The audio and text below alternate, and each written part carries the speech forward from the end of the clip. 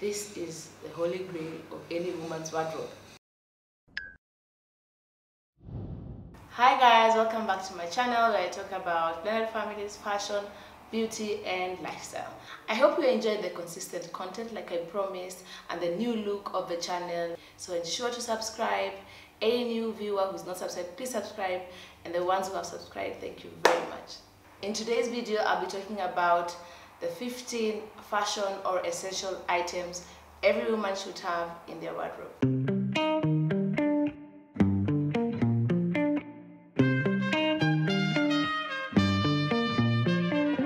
Getting come back home. You only had your come Getting come back home. You only had back Getting come back home. So we'll start with the top. So I'll start with the head. I think it's important for every woman to have a very quick, easy wig which you can wear on those bad days, especially for women of color. Sometimes you've not had time to braid your hair, to texturize or moisturize. So what do you do instead of getting a panic attack? Let's say you have a bad hair day, your boyfriend, your husband has come home and is like, let's go to a date. You don't miss a chance of a lash day because of a bad hair day. And this is my easy to wear wig. It's black in color and it's called Wanjiku. All my wigs are named after my mom. So it's easy to wear. It's black. It's a blunt cut because my face shape, it goes well with short hair. Please when you're buying wigs, consider your face shape. Consider also your, your tone so that you get the right color and you get the right cut. Why do I say it's easy to wear? It is because as you can see, it has a natural texture to it, like your natural hair. And that's my most easy wig to wear. And if you look at all my pictures, I have this on most days. So I think every woman should own a wig. And before I forget to mention how cost effective a wig is, it is really, really, really not something that you'll regret spending your money on. For example, this wig is from Lily Hairline. You can Google them on Instagram. It was $35,000, that's $50. I'll wear it for the rest of my life. All I have to do is to launder it, maybe take it to the salon to be washed and treated and styled, but you can do it at home if you have the energy. I don't. So that's why I think every woman should own a wig. It is easy to put on, it saves you on bad hair days, and it is very cost effective. You avoid the numerous salon visits. My second essential item is a basic white tee, or others might call it, if you don't wear t-shirts, a classic white t-shirt. This is an example of one. It is not one of my favorites. This is from Zara. One of my favorite places to buy a white cotton shirt is Ann Taylor. I had one, but it got messy in the laundry, so I have to replace it. But also Zara can work. Why don't I like Zara one? Because it is, after a few washes, it becomes transparent. It doesn't work for me. So a good quality one is from Ann Taylor. I'll also link other places you can get one. And then a classic white tee which I struggle getting because they're not easy to find. I like mine fitted, you can decide if you want to use loose. So you can find them from H&M, from Zara, from Uniqlo. So it's not hard to find. And as you can see, I have three white tees. Ask me why, because the fit. The problem is sometimes getting the fit. This one is from Levi. You see, it's not tight fitting, it's very square. So I want one that is form fitting for my body. And this one is from Tommy Hilfiger. And as you can see, I still have the same problem.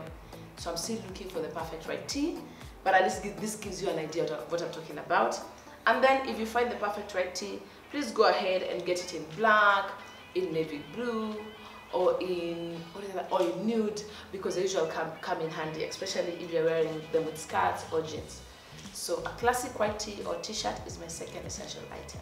So my third item is a good fitting denim or jeans. I have here one of my favorite and I'll tell you why it's one of my favorites. I like the wash, it's a bit faded now, but I like my washes dark and uh, uniform. I don't like when we have two different tones. It's from Levi, most of my jeans are from Levi. And it's a number 710 super skinny. Why do i do super skinny? Because i have very thin ankles so that works for me. And then it's it's medium waist. I love them high waist but this one is medium waist. So there is 710 and also 720 another thing why i like these jeans it's because of the stretch see you have to have two or 3 meter, centimeters of stretch. And lastly, it's a jeans that makes your bum look good. That is very important. So that's the third item. The fourth item is our old classic pencil skirt, which I don't have. I'm still looking for one. I used to have one from Ann Taylor, but then when I lost weight, it became a, a bit too big.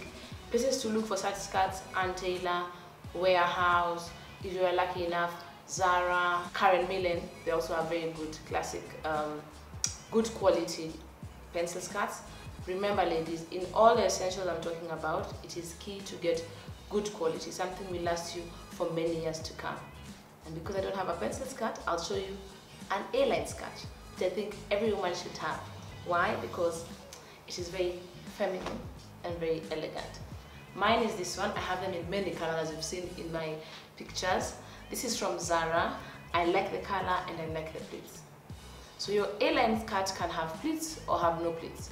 Why do I like have, mine having pleats? It's because I'm not very big down, so it gives me that volume and it balances up and down.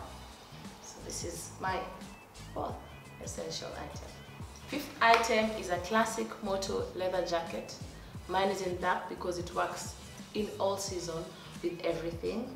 And you can see it's very good quality, very thick. It's from Banana Republic. Like I said, quality is key because to be honest, I have only one leather jacket.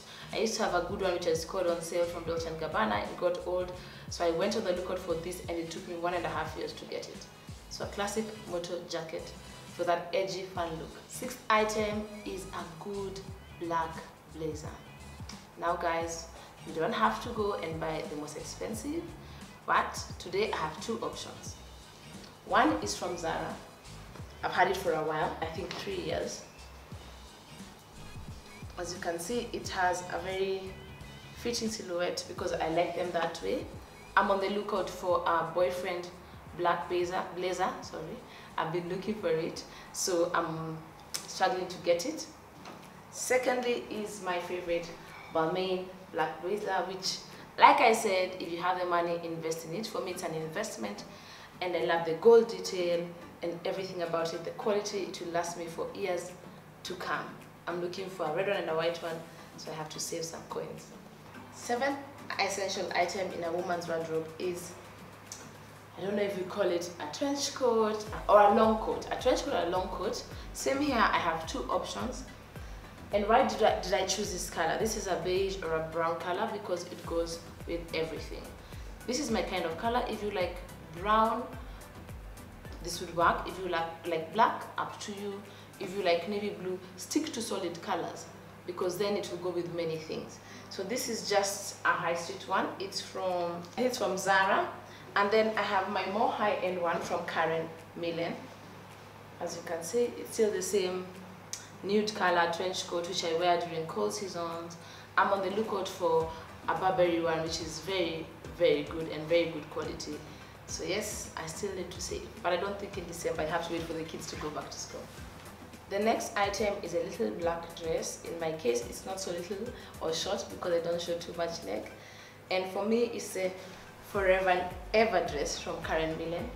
I think you've seen it on my page. Every woman should own a black dress, which is of good quality, fits them well, and makes them look sexy. I can wear it anytime. I can wear it for a funeral, I'll just dress it down. I can wear it for dinner, I'll dress it up.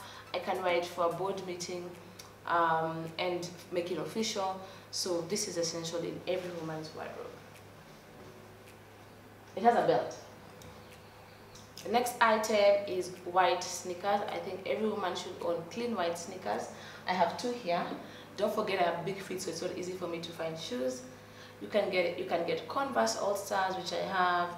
This is a pair of Reebok. I know they look huge, like a man's shoe. Yeah, that's the size of my feet.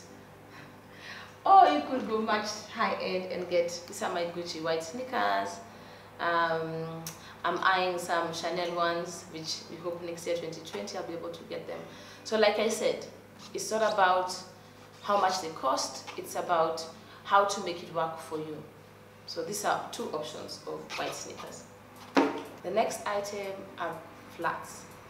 You should have a pair of comfortable flats because they're very important. Not every day will you wear heels I'm not a heels person because I'm quite tall and also I find them too much work. So on most days you'll find me with flats. So I have two pairs here. One is from Clarks. This is the only ballerina flats that I have that could fit me. From Clarks, you can see they are a size 42. Yeah, and then these are black loafers from Russell and Bromley. And this works when I want to wear jeans, and this one's when I want to wear a dress or a skirt, which I rarely do. Yeah. The next item is a pair of black heels. This is the holy grail of any woman's wardrobe. So here are mine. These are from Zara, basic ones. I am on the lookout for the Louboutin's uh, Pigalle, which I'll buy next year. I hear they're comfortable. I've been avoiding to buy them because I wasn't sure they're very comfortable. For me, it's quality and comfort. That is very important for me. It's not just about spending money on This is what I have for now, my go-to black heels, and they're very comfortable as much as they have this sharp heel. They're comfortable for me. I have very long pointed toes, so this works. Last but not least is a good quality belt. I'll say it again, it doesn't have to be expensive. So here I have two options. Here is a black belt with a gold detail, which I like. This is from Topshop. And my other belt, which is high-end. This is a Hermes, don't know how to say Hermes, uh, belt, which is black and brown. You've seen it on my belt video, which there's a link up there. You can go and watch. So that's my other essential item in a woman's wardrobe, a good quality belt. Lastly, a good structured bag. A structured bag gives any outfit the oomph. I have, this is my structured bag from Saint Laurent. It's black and it has some texture onto it and it's shiny and I feel this bag will give any outfit that necessary pop. It doesn't have to be a designer bag. You can get a good quality leather bag from Charles Keith. You can get it from Aldo. You can get it from your local leather suppliers in your country. So a good structured bag is essential.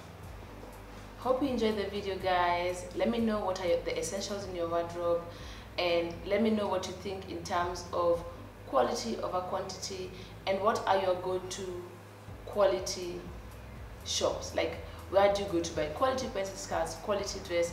I'd love to learn from you. Please subscribe leave your comments in the comment section below. And until next time bye bye